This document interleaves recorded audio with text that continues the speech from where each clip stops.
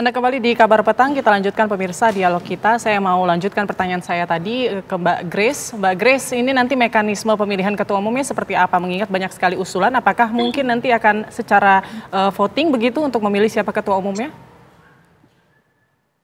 Ya, uh, mekanismenya di PSI kami mendengarkan aspirasi dari pengurus-pengurus daerah, pengurus-pengurus wilayah, pengurus provinsi, Uh, kebetulan hari ini 38 pengurus uh, ketua-ketua DPW juga sudah hadir. Kita dari siang tadi kami uh, rapat dan kemudian rekomendasi atau aspirasi dari teman-teman pengurus ini dibawa ke rapat Dewan Pembina dan kemudian nanti di rapat Dewan Pembina diputuskan diberikan mandat kepada siapa jikalau memang ada pergantian ketua umum. Kira kurang lebih begitu mekanismenya. Hmm. Hmm. Oke, baik. Sekarang saya ingin ke Bang Beni. Bang Beni, ini Ya. uh, Gibran di PDIP, Pak Jokowi bagian dari PDIP, kemudian Bobi juga PDIP, tapi Kaisang berbeda PSI. Bagaimana tanggapan dari Bang Beni sendiri dan juga dari Barikades 98? Yang pertama saya ingin mengucapkan selamat ya. Pesta Demokrasi ya, Kopi Darat Nasional PSI, Mbak Grace dan juga untuk kawan-kawan di PSI. Yang kedua kalau benar sebagaimana isu rumor yang beredar bahwa Mas Kaisang akan ditetapkan untuk menjadi ketua umum PSI ya saya juga menghormati dan mengucapkan selamat atas itu. Tapi bahwa Mas Kaisang dikaitkan sebagai anak presiden, kemudian dikaitkan bahwa uh, Mas Gibran dan juga Mas Bobi ya berada di PDIP, saya memahami bahwa hak politik setiap warga negara bebas untuk menentukan dia berada di partai politik apa pun.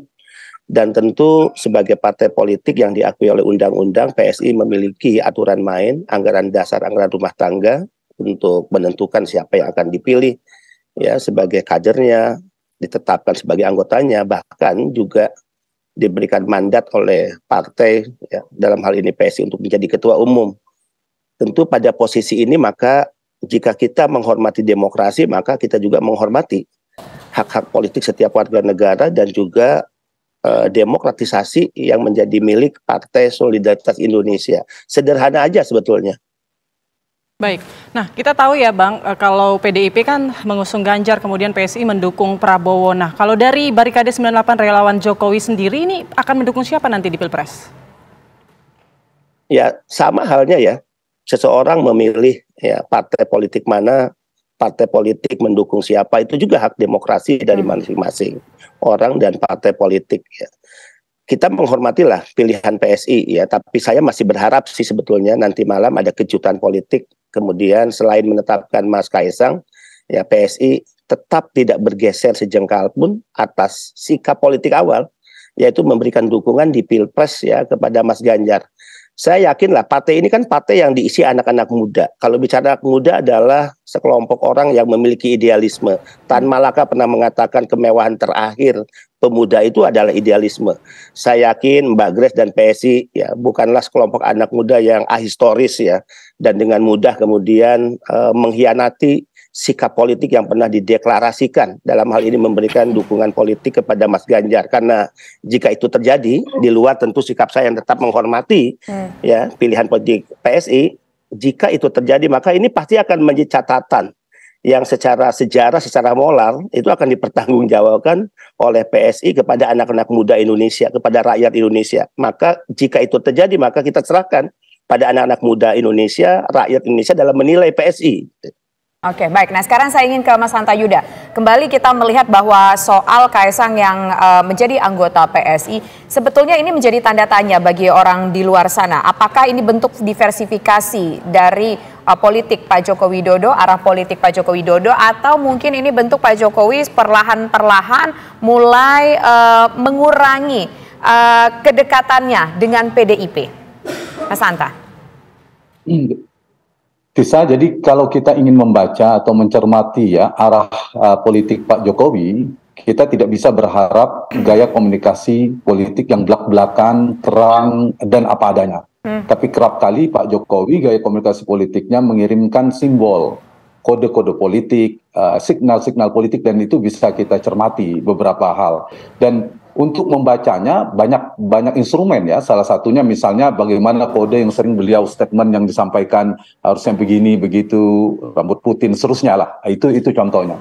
Kedua bisa juga dibaca dari pergerakan uh, apa instrumen politik yang ada kaitannya terasosiasi kuat ke Pak Jokowi yaitu para uh, simpul relawan yang juga terbelah sebenarnya beberapa simpul relawan yang dekat dengan Pak Jokowi projo ke mana kemudian seterusnya hmm. itu juga bisa dibaca dari dari hal itu. Yang ketiga Tisa bisa juga kita mem, dibantu membaca dengan pergerakan putra-putra Pak Jokowi. Ya betul memang dalam dari sisi positif uh, ini Pak Jokowi menunjukkan keluarganya beliau demokratis dan itu bagus menunjukkan uh, perbedaan, tapi juga bisa menjadi uh, instrumen dan artinya tidak mungkin tanpa restu, tidak mungkin uh, tanpa ada komunikasi dengan Pak Jokowi. Itu itu poinnya.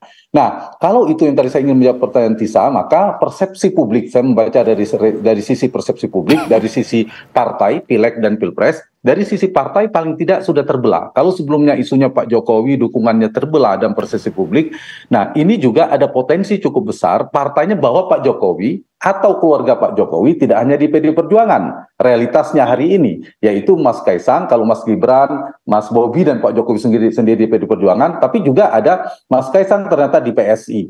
Dan ini uh, tentu ada persepsi publik bahwa uh, Pak Jokowi tanda petik ya terbelah atau uh, apa pengaruh asosiasi politik Pak Jokowi tidak hanya di PD Perjuangan tapi hmm. juga bisa ke PSI. Ini kabar baik tentu bagi PSI. Yang kedua, dari sisi Pilpres juga bisa publik mendebak, menebak. Ini Pilpres antara Mas Ganjar dan Pak Prabowo. Siapa ini kira-kira? Kalau misalnya misalnya PDIP sudah jelas ke Mas Ganjar, PSI sepertinya sedang dekat dengan beberapa waktu ini, tapi kemudian di, diklarifikasi oleh Mbak Gris beberapa kali masih netral, belum. Nah, tapi ada dua kemungkinan. Kalau kemudian PSI mendukung Mas Ganjar, maka itu semakin totalitas ya masih yeah. makin mengkonfirmasi Betul. seperti Mas Beni katakan tadi harapan Mas Beni. Tapi kalau ternyata PSI mendukung uh, Pak Prabowo, maka ini juga sama dengan tadi soal partai terbelah, maka dung yeah. dukungan kepada capres juga Baik. terbelah. Jadi itu yang bisa dibaca ya, gitu.